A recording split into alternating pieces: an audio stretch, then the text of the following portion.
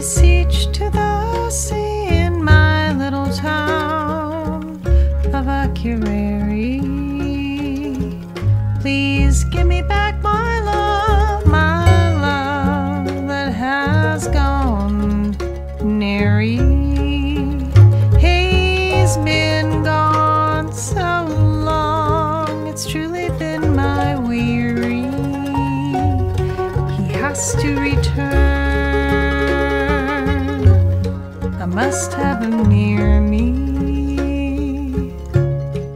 Twas the early summertime, he'd been home, loving me. But I saw him in the market with a woman who wasn't me. I stood next to them.